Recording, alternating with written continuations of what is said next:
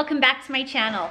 In today's video, I am gonna do a mummy nighttime routine and share with you all of the tips and tricks and steps that I take to ensure that I have a productive start of the week. So tomorrow is Monday, so I do a few things every Sunday evening to ensure that I start every Monday off on the right foot help with my own schedule, Ava's schedule, preschool, meal planning, meal prepping.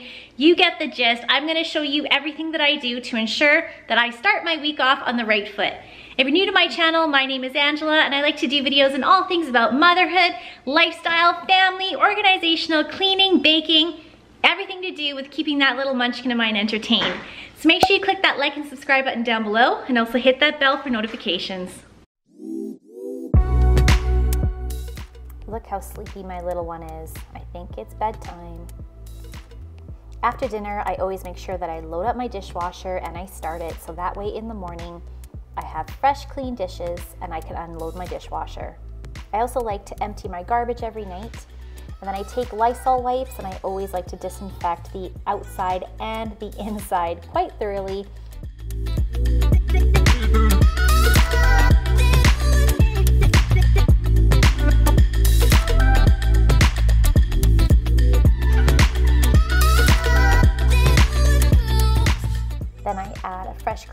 Garbage bag. It's the little things that just help me feel a little bit more productive and ready for a new day. After that, I like to put away any clutter that is on my counters. And then I empty my sink of any dishes that we've used throughout the day and I'll put a link in the description down below to these OXO Good Grips soap dispensing brushes. They are awesome, help make my dishes so nice and clean, and I swear it makes the job easier.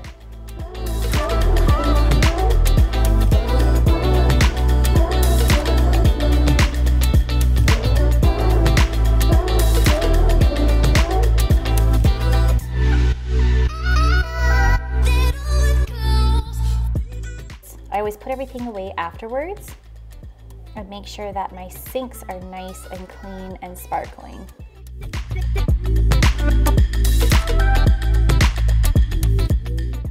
Next, I always scrub my countertops, get rid of any crumbs and leftover food or mess from the day's menu.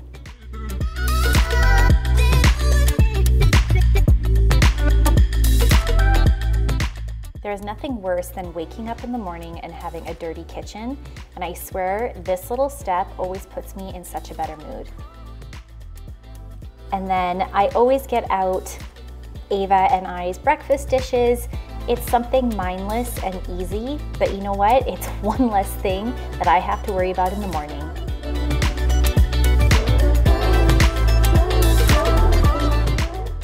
I also like to get out my coffee cup because then that's something that I'm really looking forward to in the morning. But with that coffee cup, I also have a glass of water because I'm trying to have water before coffee. Aw, there's my big Buster Brown. He's such a good boy.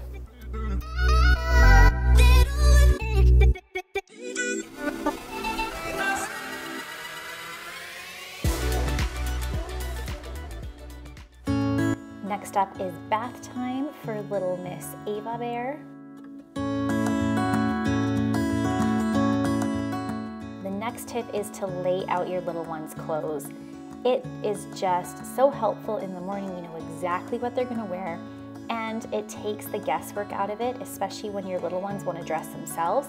That's the option that you've laid out and Ava has no problem putting on her clothes. Bedtime is always my favorite time with Ava.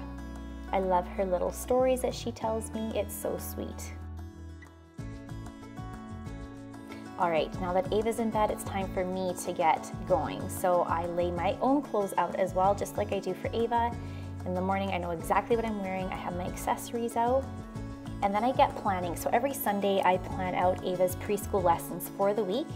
And I'm using this playing preschool curriculum from The Busy Toddler, and I'll put her link in the description down below.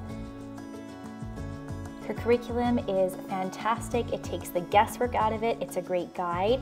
And then also it inspires me to come up with my own lessons and my own ways of teaching Ava, and I love it. As a family, we decided to keep Ava home for preschool this year, just with the situation with COVID. But it has been so amazing for me to see how much Ava has learned even over these past few weeks. It is blowing my mind and seeing her little confidence grow. And she also knows when she has the right answer. It is so satisfying. We're gonna be focusing on the letter C this week. So I have all my lessons and all of her little projects and worksheets all organized. That way throughout the week when we do our preschool lessons, I'm not searching or guessing. I love lesson planning. And then I'm also getting out some activities for her to do. These Melissa and Doug on the go books, I found them at Winners, but you can also get them on Amazon. So I'll put a link in the description down below. These are a winner and they keep Ava quiet and busy for hours. She absolutely loves them and they're educational too.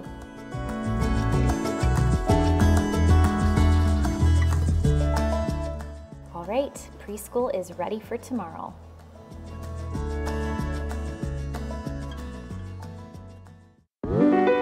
So next I find a cozy corner on my couch and I pull out my daily planner and my phone and it's time for me to plan the week.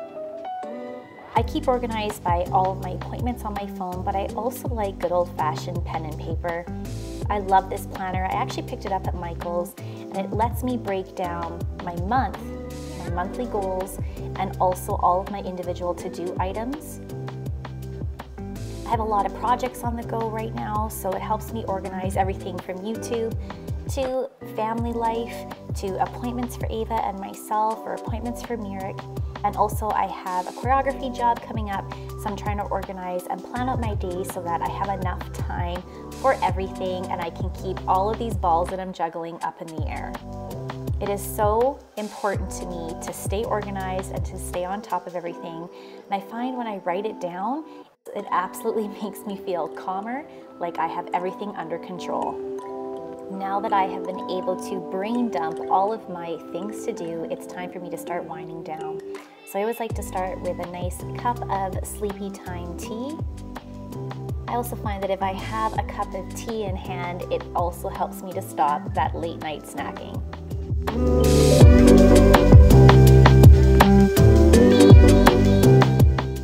So Mirik and I are gonna sit on the couch and catch up on a couple of our shows and chit chat and just talk about the week ahead.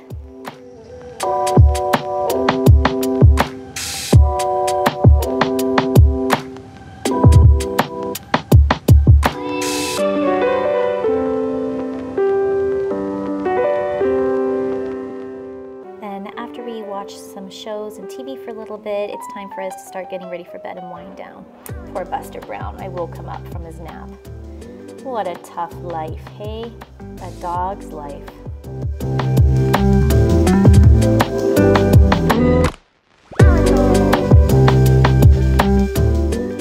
So every night I have the same routine, how I get ready for bed by brushing my teeth with my electric toothbrush.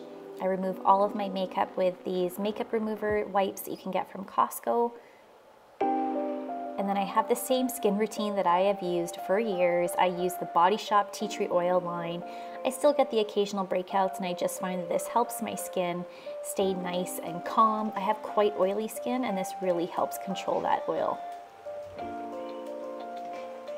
I never go to bed with my makeup on. I always remove it. I always use a toner and a nice moisturizer and I find that really helps my skin at night.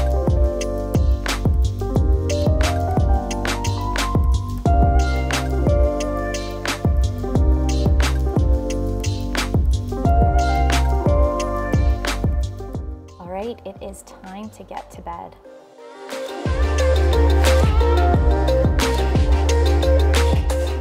I don't do this every single night, but some nights when I have thoughts on my mind, I like to journal and I like to just get everything out. It can just be mindless words. I can sometimes even write to-do lists or just write a little letter to myself, anything to relax my mind. I'm a night owl and it's hard for me to shut my brain off and go to sleep. Don't have the best sleep habits, but I'm trying to get into a better routine so that I am a better mummy in the morning and I'm not as tired. And don't worry, Buster Brown does not sleep on our bed. He just comes up for some snuggles and then he jumps on down.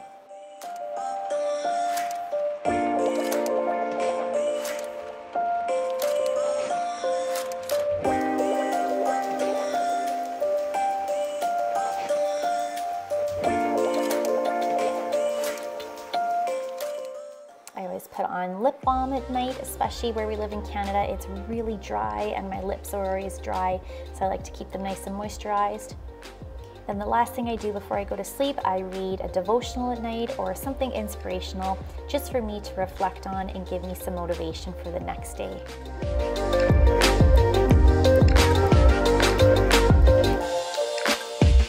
All right guys, well that is it for tonight's video. I hope that you enjoyed this productive mom evening routine. I hope it gave you a couple ideas on how to start your week out on the right foot. Thanks so much for watching. I'll see you in my next video.